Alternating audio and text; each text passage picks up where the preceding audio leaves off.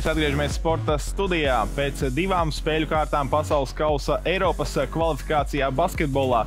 Rezultīvākais spēlētājs mūsu studijā ne tikai Latvijas basketbola izlasē, bet arī visā turnīrā pagaidām. 30,5 punkti vidēji mačā Rihards Lamačs. Labvakar! Labvakar! Klā, nu patīkam ar šādu statusu vismaz pagaidām, ja? Jā, nebija slikti. Būt, nebūtu arī slikti, ja tas turpinātos arī pēc šīm divām spēlēm. Par basketbolu vēl parunāsim. Tu spēlēji Turcijā. Uh, es ar brāli runāju. Viņš saka, Amerikas Savienotajās valstīs, viņš Minnesotā. Viņš saka, viņa, viņa informatīvajā burbulī, Olimpiskās spēles, kas nu pat noslēgušās, viņš, saka, viņš kaut kur pamanīja medaļu kopvērtējumu, mm. tur NBC uzslēdza un paskatījās hokeju. Kā bija Turcijā vispār? Kāds runā par Olimpiādu ziemas? Ja tā godīgi, tad es nedzirdēju, bet uh, nu, es sekoju līdzi, tā kā es biju informēts, bet uh, ziņās varbūt ziņās šeit, tad, bet es, man nav turku televīzija, tā kā es nemāku arī īsti pateikt. Un, bet cik, bet ģērbtuvē šeit mēs kaut ko parunājam, bet uh, baigo interesi, ja godīgi neredzēju tur. Nu, Turcijai cik uh, sportisti bija ziemas spēlēs? 15. 7. Jā, un labākais rezultāts bija šortrekā sastāvā vieta. Tā kā trīs distanču starptāji, divi kalnu slapotāji. Bet labi, ne par to. Tu jau nedēļas Latvijā. Kā mm. tā gadījās, ka tu tik ātri uh, pirms šīm kvalifikācijas spēlēm jau esi ticis uz mājām? Es tur sarunāju vadību, ka man palīdz, lai es varu gatavoties šīm spēlēm.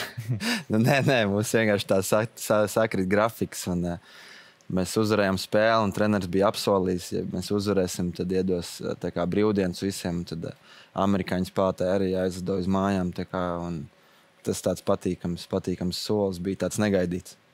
Ko tad dod šī nedēļa papildus? Ko tu izdarīsi? Varbūt ko, kaut ko garšīgu apēdis, uz copi arī bija.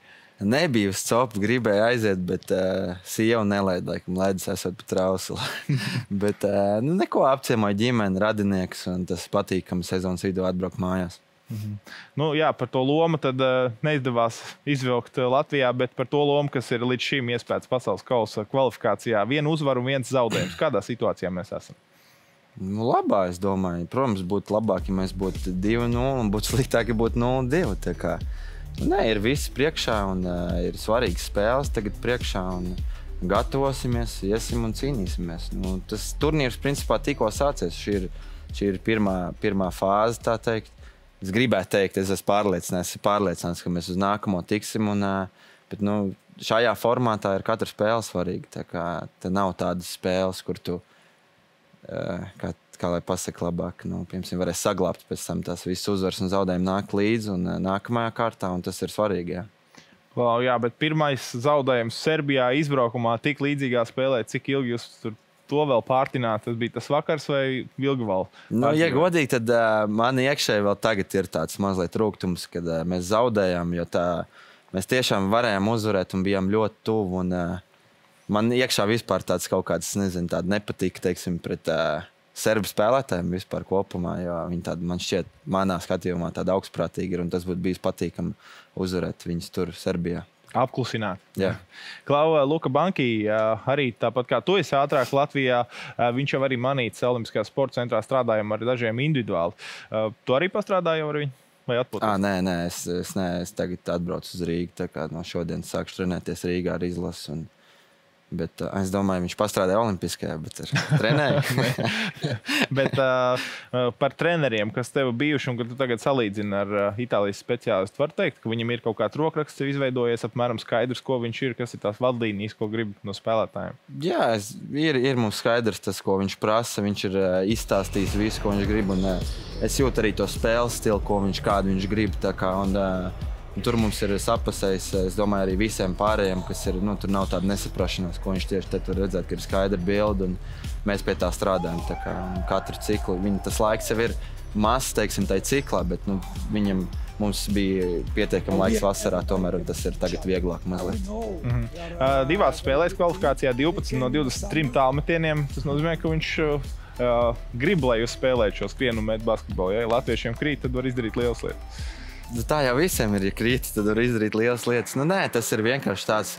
Es teikšu, tāds mums spēlētāji, spēlētāji ir varbūt tādi tendēti, tādi vairāk. Un, uh, tas ir vienkārši tas spēles stils, kādu mēs spēlējam. Un, nu, jā, viņš mums baigi neierobežo arī. Nu, nav tā, tu, tur izmetīs kaut kādu ne tādu metienu, viņš to noņems malā. Nē, viņš ļauj spēlētājiem spēlēt tā, kā viņš dod to pārliecību spēlētājiem. Un, uh, nu, mēs to novērtējam, teiksim tā. Mm -hmm. Ko citur runā? Tu esi bijis Francijā, Vācijā, Turcijā, tagad par Latvijas izlasi.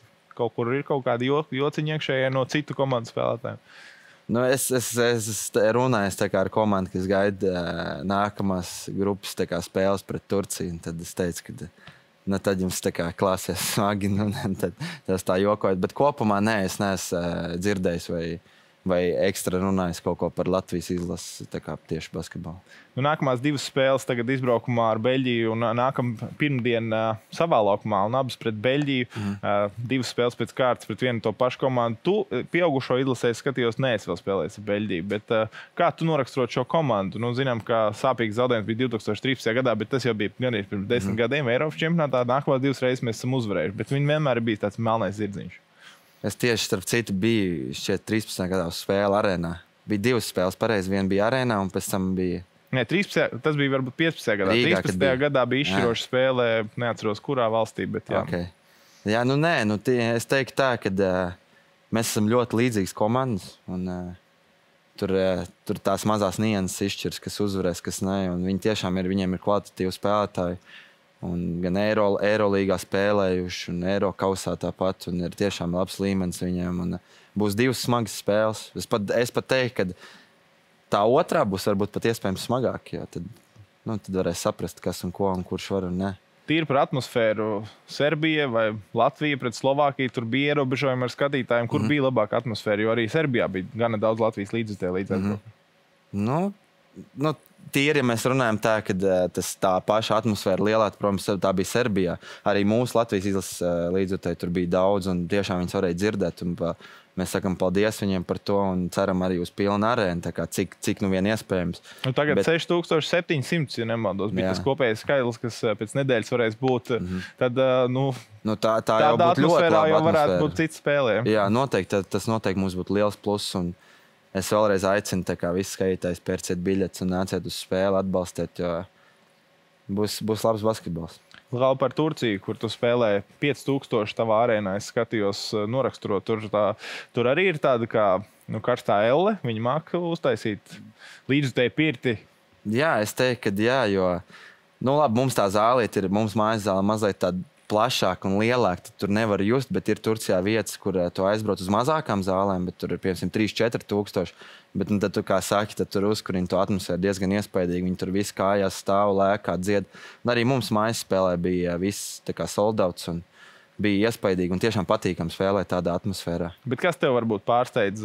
Tu turku lamvārdus varbūt jūs iemācījāties, ka kāds kaut ko saka, vai cigarešu dūmi, vai tur grauž visi kaut ko. Un... Nu, Jā, pie tā es jau esmu pieredzējis pie tām pie cigarešu dūmiem. Puslaikā ir tīpaši, ka tu atnāc pēc pārtraukuma, ienāc zālē, tad tu izteikti vari just, ka viņi tur pīpē. Lamberts šāds tāds arī zina, jo ir kaut kas jāpasaka par tiesnešu lēmumiem šeit, tad, bet, bet nu, kopumā nu, nekas baigi nepārsteidz. Es biju pirms tam Turcijā izbraukumā spēlējis ar, ar Ventspilu pret uh, Turcijas komandām, un tad tu saproti plus mīnus, kas, kas tur un kā. Bet vienīgais, kas man pārsteidz Turcijā, tas, ka nav spēļu kalendārs. Tas man ļoti pārsteidz. Man liekas, ka tā ir viena no top līgām vispār Eiropā. Un, uh, Tev nav reāls spēļu kalendārs. Tu zini, nākamās nedēļas spēle tikai. Tas, tas man liekas stipri dīvaini. Bet arī klubs nezina, kad klubs arī nezina. Nē, nē, nē. nedēļām. Ja? Neviens, neviens nezina neko. Nu, es esmu piemēram izskaitījis, mums, jo mēs nespējam nekur Eiropā. Mums ir uh, tikai nedēļas nogalas spēles. Bet uh, cikos viņas būs, kura diena viņas būs, tas to, to, uzzina nedēļu pirms. Tas man šķiet tā. Nu, tad uh, kaut kur tu vari salīdzināt, kā ir tenisistam. Ja? Kad tu zini, ka tev spēle būs tajā, tajā kortā, bet nezini, cikos iepriekšējā beigsies. jā, nu, tur tā, jā, vienīgais diena iepriekš jau zini. Uh, Klaud, uzdevums tev. Es varbūt sarežģīts, man vismaz būtu sarežģīts, bet vai nu vari nosaukt savas komandas pilnu nosaukumu? Jukatel, Merkeze Fendi, Un to, to trešo vārdu es nemāku izrunāt. Be, bele, vēl ir be, Belidesi vai Merkeze Fendi, Beledis Jesi, Denizli Basket. Ah, nu Denizli nepateic. Denizli pateic. Denizli ir pilsēta. Jā, jā, tas. Jā. Kā jūs vispār savā starpā, nu, ja tev prasa, kur tu spēlē? Turcijā es saku, parasti. nu, jā, nu, es nevaru nosaukt to. Es parasti saku Jukatel vai Denizli. Tas mm. tās īsāk noraksturot to gan pilsētu īsumā, un, un komandu. Tas ir uh, līdzīgs stāsts, kā ir uh, citās lielās turku komandās, ka tas galvenais naudas maksas pieder futbola klubam. Nē, te mums nav pat. Varbūt ir futbola klubs, bet mums nav liels viņš. Un, uh, sapratu, ka mums ir uh, tas lielākais sponsors, ja mēs par naudu runājam, lielākais sponsors ir no Vācijas.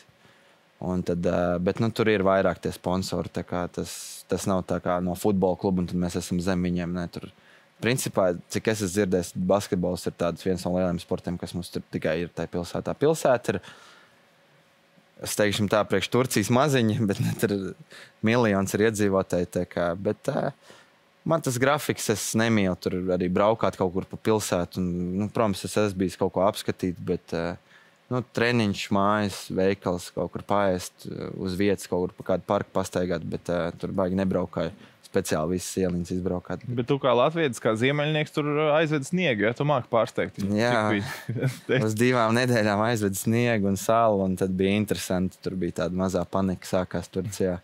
Bet uh, es esmu priecīgs, smaidīgs, gāju uz treniņiem, un tad treneris bija mazliet dusmīgs. Zvanīja par to, ka tu tik priecīgs, tā kā pieredzi. Es teicu, nav jau tik traki, es jau ārā nedzīvoju Latvijā.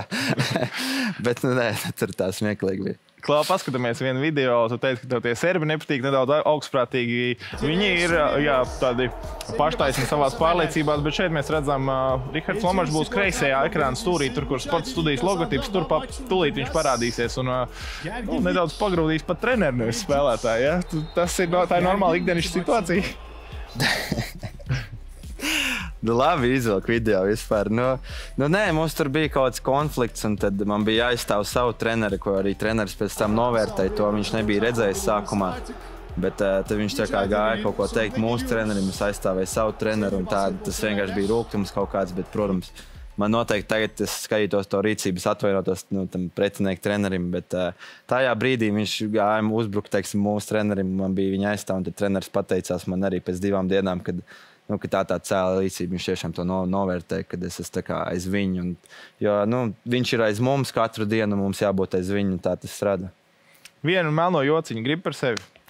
Kristapam Janičēnakam sveiciens. Viņš teica, ka jā, Rihards ir mans dēls, bet viņš saka, Lomačs ir tik īsts, ka viņš pie kases nevar rēķinu bank bankā samaksāt. tas, protams, melns joks, un to viņš arī pasaka, ka vienmēr Rihardam ir arī joks, ko pretī pateikt, bet principā viņš, ja tā nopietni runājot, viņš izteica slavinošus vārdus par tevi, un viņš teica, ka galvenais Riharda ierocis ir galva, pārliecība, mentālais spēks, niknums, gribas spēks, kā arī varbūt ne ar garāko augumu basketbolā, bet tu vari sasniegt. Eh, mm. Ko tu atbildētu viņam? Paldies! Paldies es nevaru teikt, televīzijā. Bet 1,93 m. Tu jūties nav, tāds nav tik daudz. Es teiktu, ka 1,90 m. Varbūt var izspiest 91. Bet... Nē, es ja godīgi nejūtos viens no īsākajiem. Es daudz spēlēju ar īsāku, labi, es neesmu viens no garākajiem arī. Bet... Tas tāds nav, nav tik īsts arī. Cik viņš, viņš jau pats ir 1,95 m. Viņš domā, ka viņam 2,05 ir apmēram. Labi, un Valdemāra pilsēta noslēpums. Mums tur ir šķēpmetēji, olimpieti, vairāk kārtēji palamēji, kā ērētā īļini, mm -hmm. Rihards Lomašs. Kas tur ir? Jūs tur bērnībā kāds ieliek to sporta mīlestību? Ezers tur ir, varbūt tāpēc tur viss peldēs ezerā un tad uz, uzkrāj to enerģiju. Un... Bet, principā, skatoties uz to nu, savu karjeru, tu vari teikt, ka ar, ar milzīgu darbu tu esi panācis Nu, noteikti, jo man, teiksim, tā, man neviens neko nav dāvinājis par veltu vai kaut kur ielicis, kā, lai man tikai viss man būtu. Nē, tas ir mans darbs, un man pat ir bijuši teiksim, šķēršļi priekšā. Man bija liela trauma, un es pēc, pēc viņas principā sāku tikai spēlēt kaut, ko, nu, kaut ko labāku. Un, bet nu, nu, tas ir jā, darbs, darbs. Es teiktu, ka darbs. Jo, Nu, es, es atkārtošos, man neviens neko nav dāvinājis. Man vienmēr ir bijis kaut kas jāpierāda kādam. Tā, Un tādas turpinās joprojām. Man ir jāpierāda Eiropai, pasaulē, ka es varu spēlēt basketbolu. Un kā, un tas man, tas man mērķis ir arī, kad man nekas neapstājās vai nebeidzās. Ir, man tomēr jāpierāda, ir tāpat katru kaut kādu es tur nolieku savu solīti un es mēģinu to sasniegt. Tagad man ir mērķis tikt atpakaļ Eirolandā. Nu, kāds ar kurien es to mēģinu, tas ir savādāk, bet nu, tāds man ir mērķis, tādas es nospraucu. 33 punkti un 28 punkti līdz šim divās spēlēs, kā tagad pret Beļģiju tā novēlēt. Nu, neko jau man personīgi, jā, es varu arī neiemest nevienu punktu. Galvenais mums ir uzvarēt, jo tai izlasē tiešām man tas nav svarīgi, cik es nospēlēju labi vai slikti. Ja komanda uzvar, tad es esmu priecīgs, ja kurā gadījumā tā kā. Ja komanda zaudē, tad es uzņemos atbildību par tiem, piemēram, aizmestiem metieniem garām vai to Bet, nu, jā, novēl mums veiksmi, izturību un lai mēs lai mēs varam uzsist sev pa, pa plecu par labu darbu padarīt. Novēl tev, lai Latvijas līdzekļi tādu kārtīgu pirtiņu uztais arī, lai tev vismaz ir sajūta, ka tu Turcijā spēlē. Jā, tas būtu tiešām tas būtu forši. Jā.